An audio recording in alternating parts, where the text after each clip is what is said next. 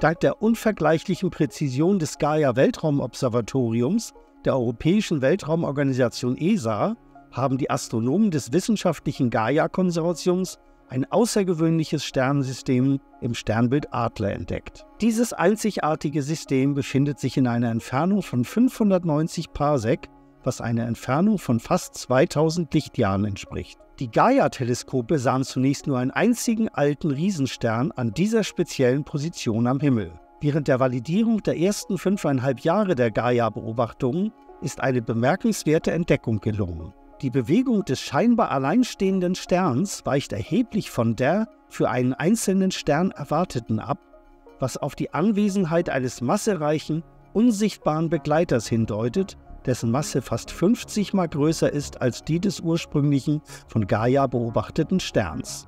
Die einzige plausible Erklärung für den Begleiter ist ein schwarzes Loch, das durch den Kollaps eines massereichen Sterns vor Milliarden von Jahren entstanden ist. Mit seiner außergewöhnlichen Masse, die 33 mal so groß ist wie die der Sonne, ist es das massereichste schwarze Loch stellaren Ursprungs, das bisher in unserer Galaxie entdeckt wurde. Bisher wurden solche massereichen schwarzen Löcher nur in weit entfernten Galaxien mit Hilfe von Gravitationswellenteleskopen beobachtet. Der Stern und das schwarze Loch umkreisen ihr gemeinsames Massenzentrum, das mit einem grünen Kreuz markiert ist. Dieses System, Gaia BH3 genannt, ist schon das dritte Doppelsternsystem mit einem schwarzen Loch, das von Gaia entdeckt wurde, aber seine extrem hohe Masse und die große Umlaufbahn machen dieses System einzigartig. Der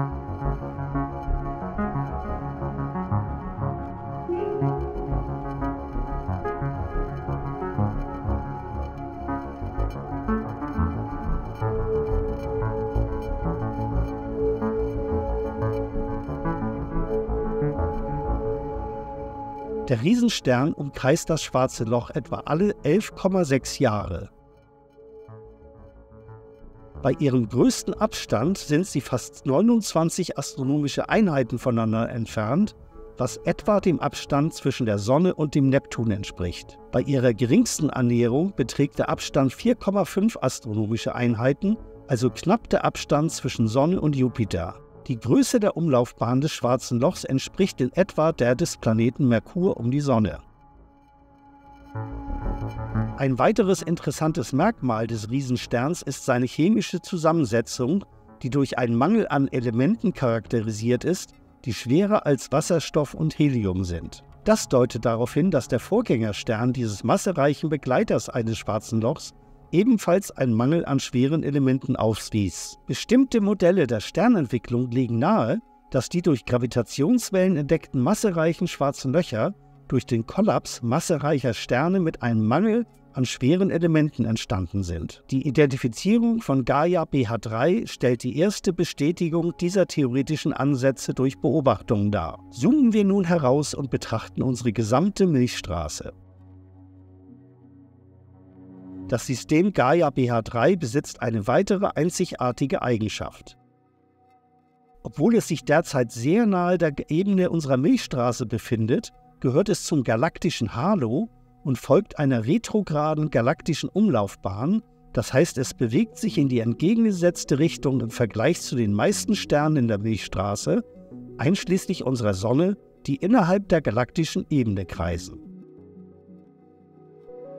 Außerdem gehört es zu einer Gruppe von Sternen im galaktischen Halo, die vermutlich vor mehr als 8 Milliarden Jahren von unserer eigenen Galaxie aufgesogen wurde. Weitere Entdeckungen ähnlicher Doppelsternsysteme mit einem schwarzen Loch werden mit dem kommenden Gaia Data Release 4 erwartet.